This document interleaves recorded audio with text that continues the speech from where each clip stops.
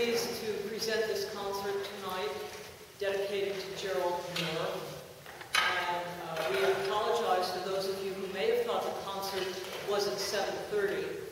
We apologize further for the delay caused by the director of the workshop having left her music in her room.